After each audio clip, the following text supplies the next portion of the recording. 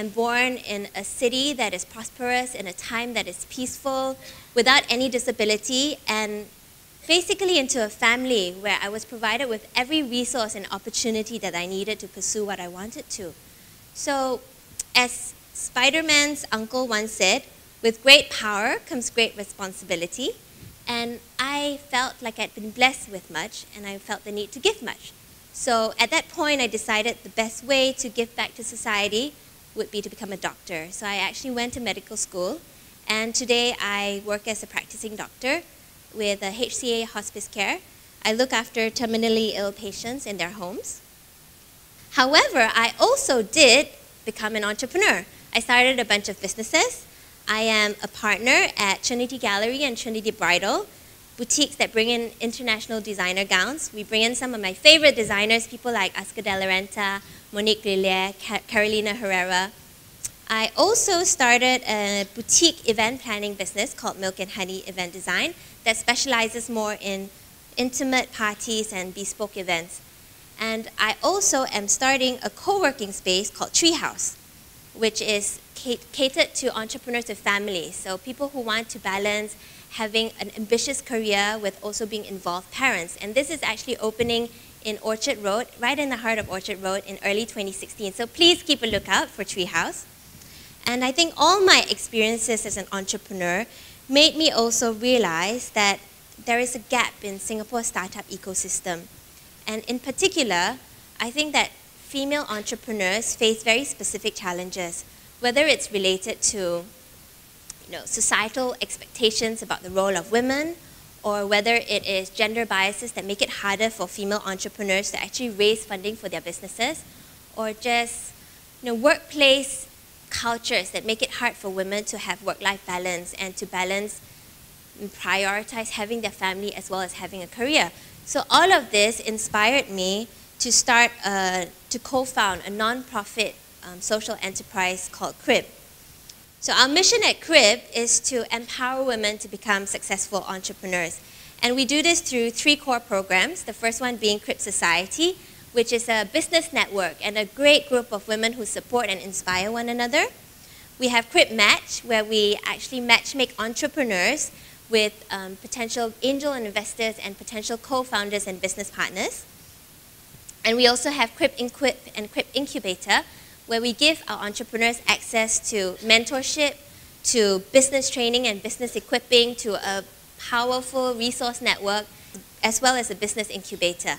And actually, we are raising a social enterprise grant for female-led businesses with a social impact. So if you didn't win $100,000 from NTUC, you still have hope with Crib. So apart from my roles as an entrepreneur, I actually also write for several travel magazines as travel journalists, um, magazines and online publications. And because I am very passionate about giving back to society, I also commit time to raising funds for funds and awareness for several charitable causes that are very important to me and that I'm passionate about. And my biggest role of all is as a mother to my two boys, Kian and Luke, or three boys if you count my husband. When I tell people about all the different things I do, it sounds like a lot of stuff, so I often get asked, how do I do it all? The truth is that there are so many different answers to this question.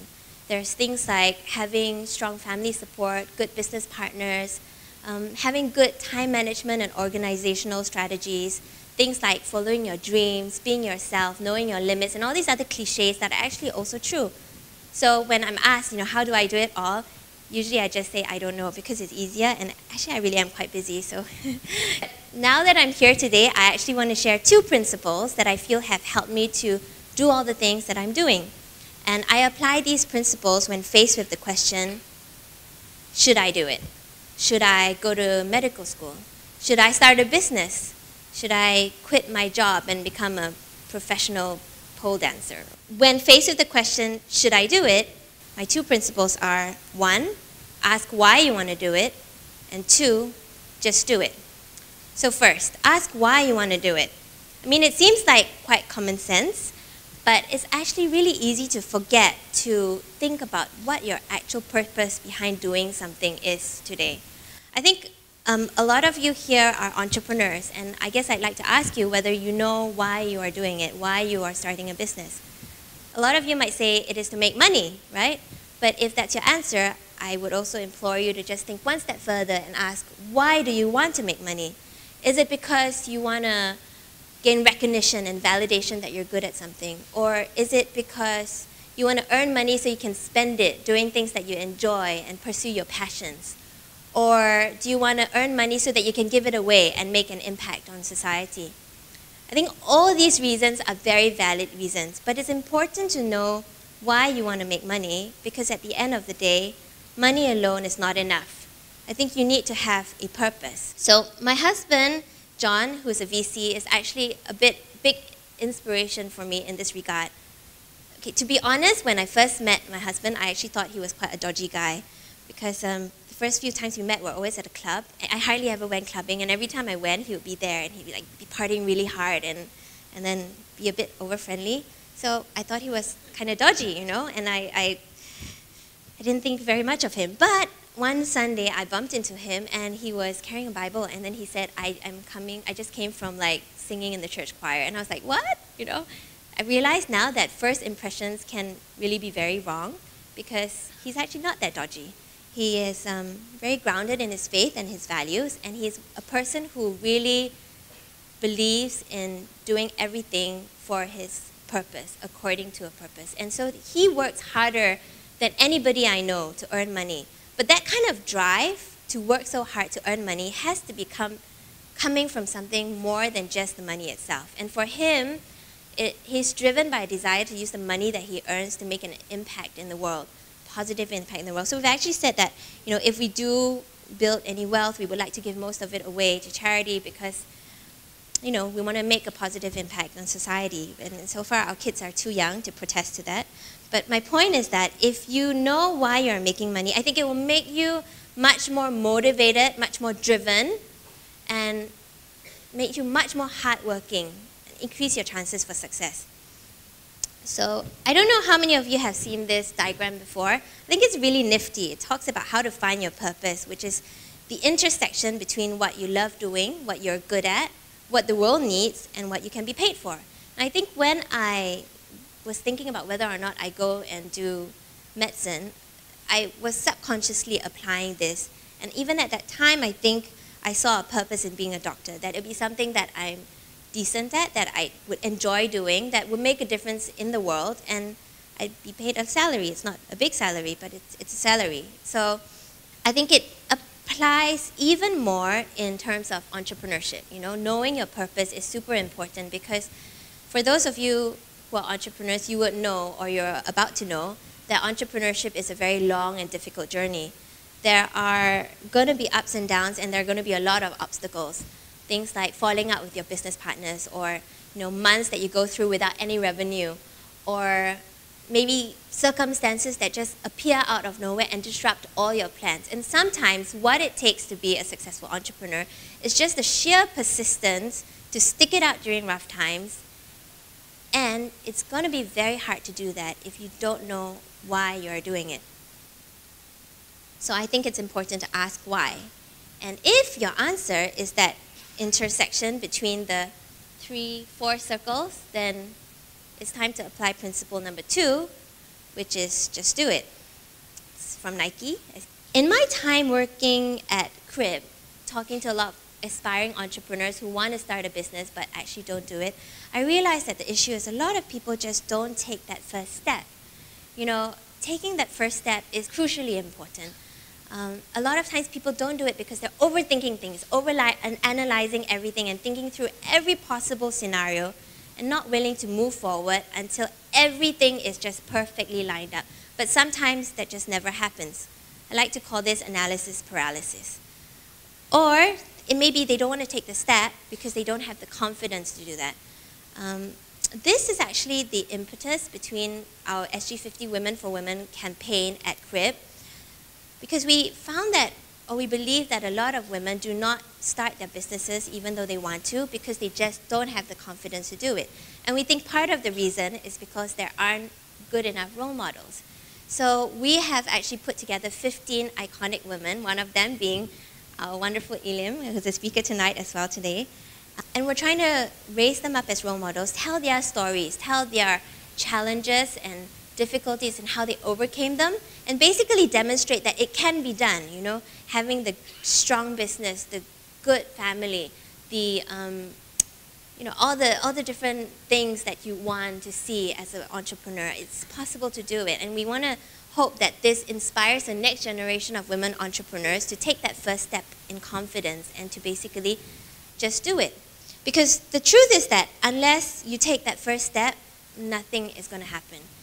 For me, when I graduated after medical school and I, after the first year of housemanship, I was actually invited by my um, professor and mentor to try a job at palliative care. At that time, I was very scared of the prospect of working with elderly patients who are all about to pass away.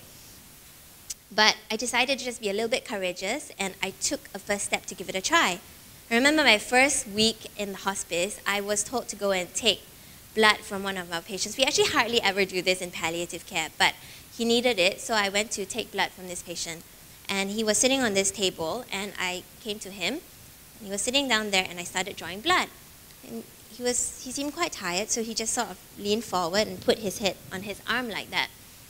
And so I finished drawing blood, and then I kind of nudged him and I said, "Oh, uncle, 已经做好了, you know." And I just shook him a little bit, and he didn't wake up, and he actually never woke up.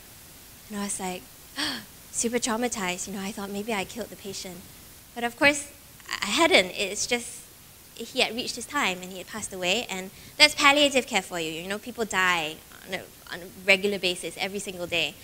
So, if I had just stopped at that moment and said, I'm not going to do this anymore, I think that I would have really regret, regretted it a lot. Because if I just focused on my fears and my worry that I'm not going to be a good doctor, I would not have found this profession that I deeply, deeply love and feel very fulfilled by. Another example is the fact that I actually loved writing and I love travel. So a couple of years ago, I said, wouldn't it be awesome if I became a travel writer? But I hadn't any idea how to start it. But I decided to take one first step. And what I did is I started a blog. It was a travel blog. I kept it private and I didn't let anybody read it, not even my husband. And my husband was like, that's crazy, you know? What's the point of starting a blog if you're not going to let anybody read it? But that for me was just my first step because it was just a tiny step, but a first step doesn't need to be like a grand dramatic stride. It can just be a little thing. And that first step led me to get my first story published in a magazine, and then they liked it, so another story got published, and then other magazines asked me to be a travel writer, and now I'm actually a travel writer. And it wouldn't have happened if I just thought, oh, it would be a good idea, but I didn't do anything about it. I think this um, just do it motto applies the most in entrepreneurship because when I started my business, I, I had no idea how to go about it, no idea where to start, how to start. So I just had to do it step by step. I spoke to a bunch of people, talked to a lot of people actually, start to write a business plan. Actually, I, I read a book on how to write business plans and then I wrote a business plan. And then step by step, my business idea actually turned into an actual business. And at the time, I you know, obviously what I ended up with was very different from what I set out to do in the beginning.